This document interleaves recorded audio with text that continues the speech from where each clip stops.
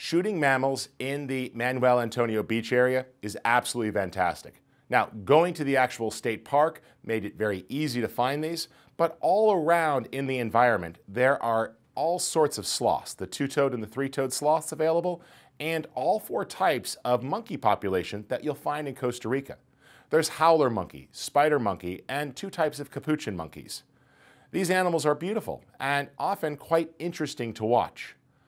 I did find a couple of pieces of advice though to locate the animals. One of the easiest things to do is to look for movement. Now, you might be thinking the sloth doesn't move very much, and that's true. But the sloth is a fairly heavy animal, so as they're climbing up a tree, you will see the branches move at the top or the trees shake a little bit. On the other hand, if you see very sudden movement and the leaves are moving quite quickly, or it looked like somebody jumped from one tree to the next, that's likely going to be one of the monkeys. Look for that movement in the treetops and it'll be very easy to spot the animals. I also found it was a good idea to try using a pair of binoculars or a monocular and this would make it easy to see things.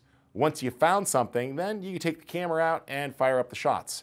But there are tons of these great mammals to capture.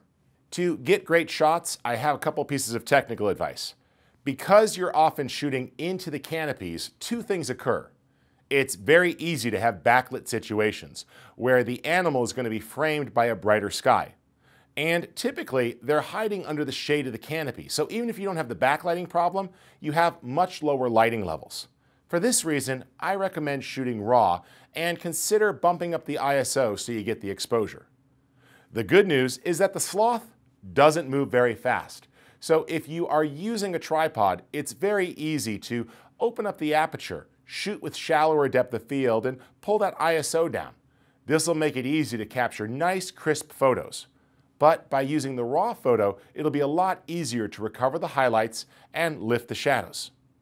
On the other hand, if you're trying to capture the monkeys, these can move quite quickly.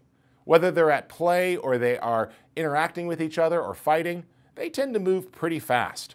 As such, you're going to need a faster shutter speed to catch them. I found it was frequently necessary to bump up the ISO in order to get a good capture. All in all, the mammals in the area are extremely plentiful, more than 100 different species available, so if you want to go out and find wildlife to capture photos, it is a very target-rich environment. It did not take long to locate an animal. In fact, as soon as I arrived at the park, there were some lizards waiting for me. Walked about another 10 feet and I found a sloth. It's not a zoo. They're actually out in their natural habitat. It's just that the people of Costa Rica have done such a great job of preserving the wildlife areas and minimizing the impact of human development that the animals are plentiful and quite easy to spot.